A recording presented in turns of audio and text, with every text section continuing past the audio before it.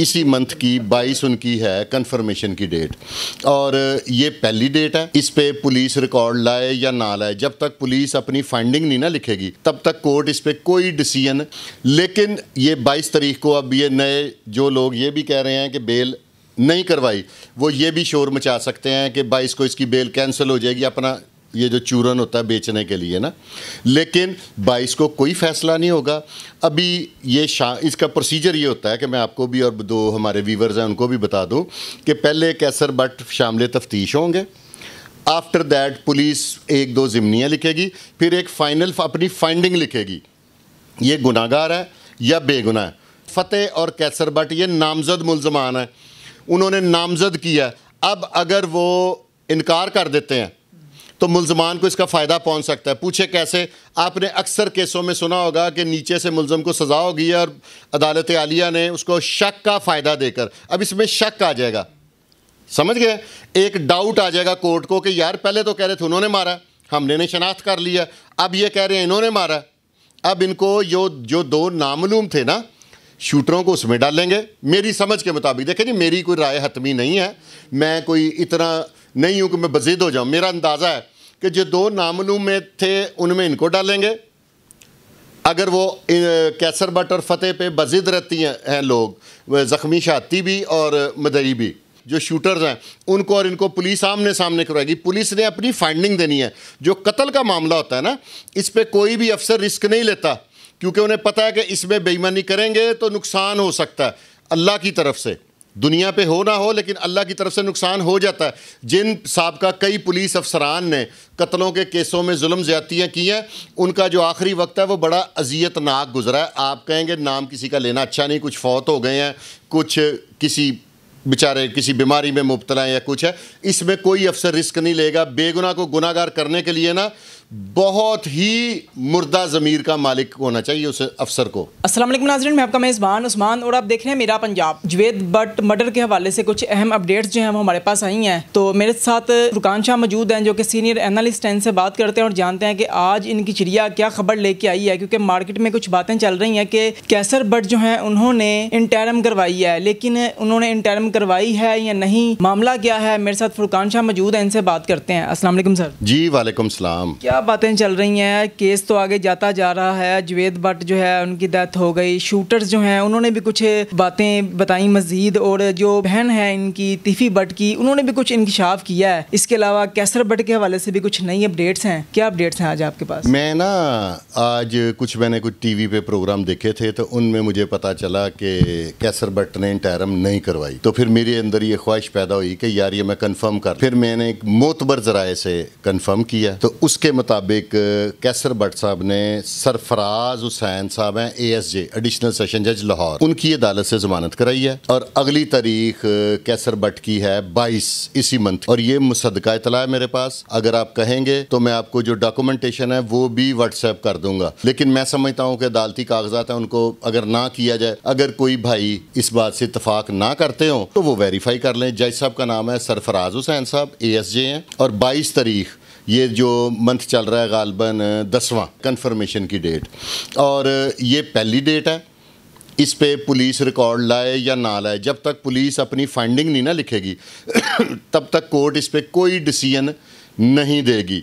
अब ये मुनहसर है कि मदई पार्टी, इनकी बेल कैंसलेशन मूव जब ये होगी, बहस होगी बेल की कंफर्मेशन या कैंसलेशन जो भी कोर्ट फैसला करेगी, हमें इस पर तबसरा नहीं करना चाहिए, क्योंकि जो चीज़ अदालत में हो ना, उस पर बहस नहीं करनी चाहिए कि अदालत ये करेगी, अदालत वो करेगी, जो अदालत बेहतर समझेगी, वो अदालत कर देगी। लेकिन ये बाईस तारीख को अब ये नए जो लोग, ये भी कह रहे हैं कि बेल नहीं करवाई, वो ये भी शोर मचा सकते हैं कि बाईस को इसकी बेल कैंसिल हो जाएगी, अपना ये जो चूरन होता है बेचने के लिए ना, लेकिन बाईस को कोई फ़ैसला नहीं होगा। अभी ये शा, इसका प्रोसीजर ये होता है कि मैं आपको भी और दो हमारे वीवर्स हैं, उनको भी बता दूँ कि पहले कैसर बट शामिल तफ्तीश होंगे। आफ्टर दैट पुलिस एक दो ज़िमनियाँ लिखेगी, फिर एक फ़ाइनल अपनी फाइंडिंग लिखेगी। ये गुनागार है या बेगुनाह? क्योंकि अगर तो मदई इस पर रजिस्टर नहीं करते, फिर वो कैसर बट को छोड़ देंगे अदालत के रहमो करम पे। जिसको कहते हैं खाना नंबर दो। खाना नंबर दो में कर देंगे, क्योंकि ये अगर वो रजिस्टर नहीं करते तो फिर कैसर बट को पुलिस इख्तियार देगी कि अपनी वहाँ से ज़मानत उठा ले। लेकिन ये मुसदका बात है कि बेल हो गई है। इसके अलावा कैसर बट जो है, इससे पहले भी सीसीपीओ के पास पेश हुए और साथ में दो मिनिस्टर जो हैं, उनकी भी इतलात हैं कि वो भी वहाँ पे मौके पे मौजूद थे। लेकिन ये बात बाद में फिर दबाई गई कि पेश नहीं हुए। आपके पास क्या इतलात हैं? इतलात बिल्कुल ऐसी ही हैं मेरे पास, लेकिन ये सारी मुबैना इतलात हैं। ये देखे ना, जैसे कोर्ट का, मैंने कोर्ट का भी नाम बता दिया, डेट भी बता दी। अगर ये गलत हो तो फिर तो बहुत गैर मज़हब है ना, मेरे इस एज में भी मैं इमेच्योर कहलवाऊँगा। ठीक हो गया ना? वो बात, उसका हमारे पास प्रूफ कोई नहीं है। अगर कोई अफसर बिहाइंड दी कैमरा ये भी कह देता है कि यार ये बात सच्ची है, वो आया था तो उसका हमारे पास मुसदका इतला नहीं, लेकिन इतला है। ऐसा ही है। ज़ाहिर है, अगला इतना बड़ा केस है, कत्ल जौन सा होता है ना, ये झूठा जौन सा है ना, वो भी बहुत बुरा है, सच्चा भी बहुत बुरा है। इसमें से ये नहीं होता कि मैं जाके कोर्ट में कह दूँ कि जनाब, मैंने नहीं किया, मैं बेगुनाह कोर्ट के चले, आप घर चले जाएँ। इसमें से पूरे प्रोसेस में से आपको गुजरना पड़ेगा। समझ गए? पूरा प्रोसेस अडॉप्ट करना पड़ेगा, शामिल तफ्तीश होना पड़ेगा, अपने सफ़ाई के गवाह देने पड़ेंगे, मुलजमों के आमने सामने कराया जाएगा, जो शूटर्स हैं और बहुत कुछ प्रोसेस है, ये इतना आसान नहीं है। मेरी नाकस राय, मुबैना तौर पर इसमें कम अज़ कम पाँच छः इससे ज़्यादा भी डेट्स पड़ सकती हैं। अगर कोई ऐसे चूरन बेचेगा ना कि बाईस तरीक को कैसर बट गिरफ़्तार हो जाएगा, ये हो जाएगा, वो हो जाएगा, लेकिन मेरी लाहौर की जो इंतज़ामिया, उनसे एक रिक्वेस्ट है कि कैसर बट हो, तीफ़ी बट हो, कोई भी हो किसी एक पार्टी की हिमायत देखे ना, हम मैंने तजिया देना, मुझे किसी एक का साथ देना चाहिए, नहीं ना देना चाहिए।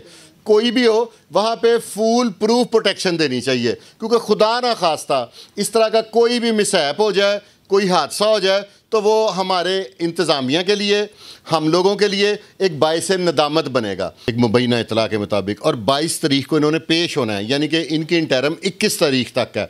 22 को सुबह जो भी कोर्ट का अर्लियर टाइम है ना, क्योंकि अदालत जौन सी है, वो इंटरम सबसे पहले कच्ची इसको कहते हैं बेल बिफोर अरेस्ट कबलस गिरफ्तारी ज़मानत ना? ये कबलस गिरफ्तारी ज़मानत है, ये सुबह आठ बजे नौ बजे जो भी कोर्ट का टाइम चल रहा है उधर पूरे इन टाइम पहुँचना पड़ेगा इनको।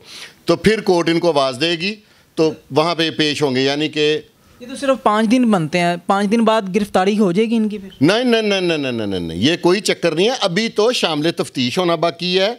इसके बाद उन जो मुलजमान हैं जो शूटर्स हैं उनको और इनको पुलिस आमने सामने करवाएगी पुलिस ने अपनी फाइंडिंग देनी है। जो कत्ल का मामला होता है ना इस पर कोई भी अफसर रिस्क नहीं लेता। क्योंकि उन्हें पता है कि इसमें बेईमानी करेंगे तो नुकसान हो सकता है। अल्लाह की तरफ़ से। दुनिया पे हो ना हो, लेकिन अल्लाह की तरफ़ से नुकसान हो जाता है।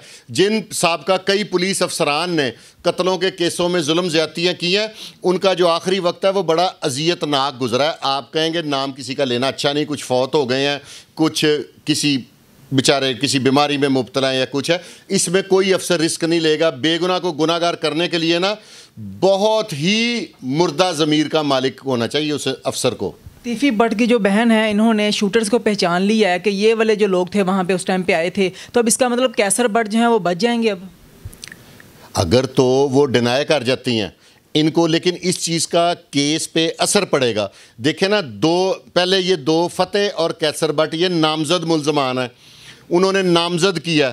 अब अगर वो इनकार कर देते हैं तो मुलजमान को इसका फ़ायदा पहुँच सकता है। पूछे कैसे? आपने अक्सर केसों में सुना होगा कि नीचे से मुलजम को सज़ा होगी और अदालत आलिया ने उसको शक का फ़ायदा देकर। अब इसमें शक आ जाएगा। समझ गए? एक डाउट आ जाएगा कोर्ट को कि यार पहले तो कह रहे थे उन्होंने मारा, हमने ने शनाख्त कर लिया, अब ये कह रहे हैं इन्होंने मारा।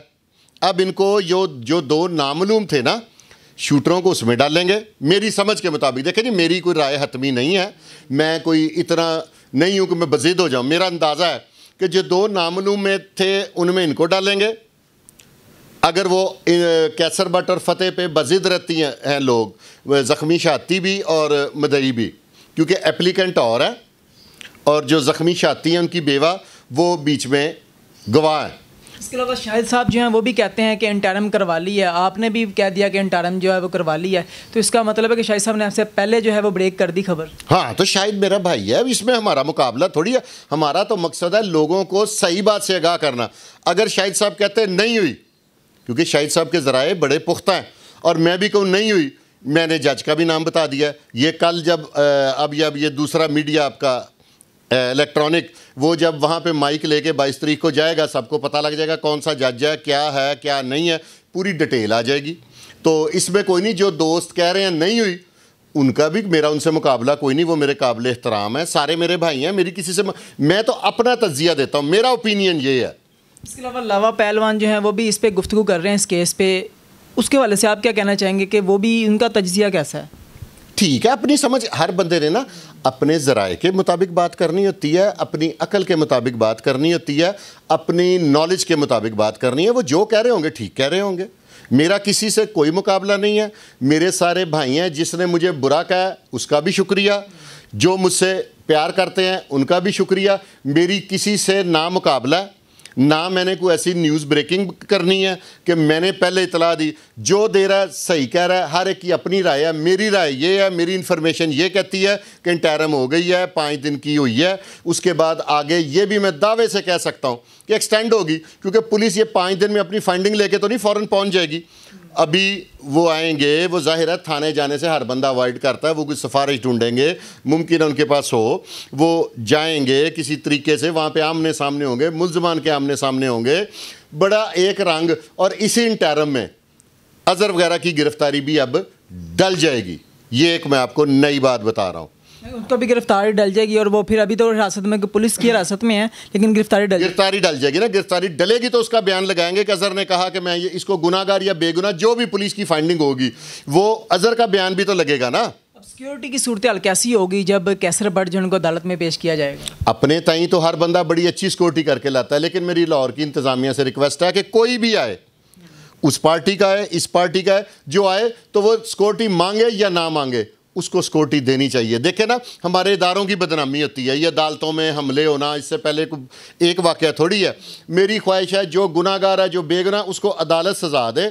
कोई भी एक दूसरे का नुकसान अल्लाह भी करे कि ऐसा कभी भी ना हो। मेरी, मैं दुआ भी साथ करता हूँ। नाजरन आपने इनकी तमाम तरह गुफ्तु सुनी है कि 22 अक्टूबर को कैसर बट जो है उनको अदालत में पेश किया जाएगा और गिरफ्तारी होती है या नहीं होती है वो तो 22 तारीख को पता चलेगा। ये इस सरफराज हुसैन एडिशनल सेशन जज साहब की अदालत में Sarfaraz Hussain A S J साहब की अदालत में उनकी अदालत में पेश, पेश किया जाएगा। नाजिन तमाम गुफ्तु आपने सुन ली है। अब इस केस के वाले से मजीद आपको अपडेट करेंगे। जैसे जैसे नई अपडेट्स आएँगी आपके साथ लाजमी शेयर करेंगे और बाईस तारीख को क्या होने वाला है वो भी आपको जो है वो लाइव दिखाएँगे कि आखिर मामला क्या होंगे। कैसर बट को जब गिरफ़्तार किया जाता है या पेश किया जाता है तो उसके बाद क्या मामला तो होंगे? जुड़े रहिए मेरा पंजाब के साथ, इसी के साथ, अल्लाह ने के बाद।